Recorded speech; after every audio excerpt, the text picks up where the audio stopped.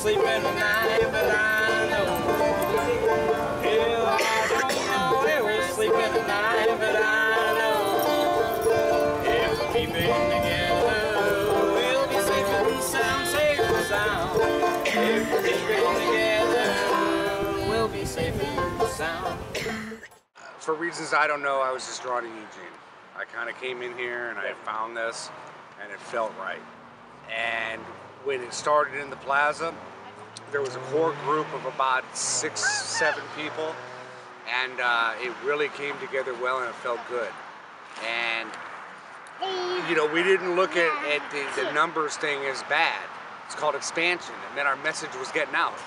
If it would have stayed eight tents there and a, you know a dozen protesters, well, that would have meant our message wasn't getting out to the people.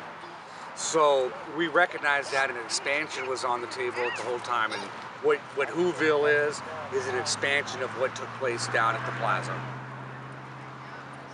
So, what are your plans for this movement? You guys got a Oh. strategy in place? Uh, we're using the amoeba theory. Every time they move us, we're going to split into two or more groups. And we're just going to occupy more and more real estate. And uh, we're running out of counties, so we'll be coming to the city here real soon. I knew this, but I didn't think I would see it so clearly. It's there's a lot of issues out here, and it's going to take a lot of work from a lot of people. But what I found out is one person can, can create a small, safe sleeping environment. And before any of the issues in front of us can be solved, people have to have a good night's rest. And that's achievable.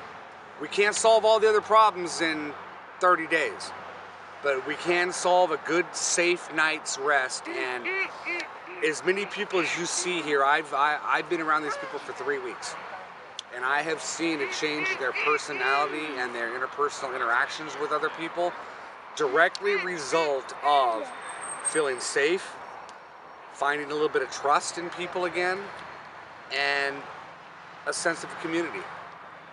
You know what? I'm really talking to the people here. There's leaders right here. Uh, each split we make, one of the leaders goes with it they've had these abilities all along. They just forgot or they got to be rem- reminded. And I could see them from across our, our, our little camp here, you know, and they're stepping up. And what's happening is they're feeling part of it, which is that's what has to happen. You know, people can't come in and out of this. It has to be sustainable because these people want it. Well, you put uh, the mental the mental health issues you put the drug abuse issues. When you're under stress, you use more of a substance to feel better. You put lack of sleep in that, which is a known form of torture. You know, there's Geneva Conventions conversations we could be having here, but we don't have enough time. You know, uh, they know sleep, sleep deprivation causes behavioral changes. And that doesn't make it better for the downtown business people. It doesn't make it for the county. It doesn't make it better for the city. It doesn't make it better for the individuals who are being deprived of a good night's sleep. And that is a first step into working together. This is the second Whoville. Actually, we're calling it Whoville Local 1. The fairgrounds was a trial balloon on that.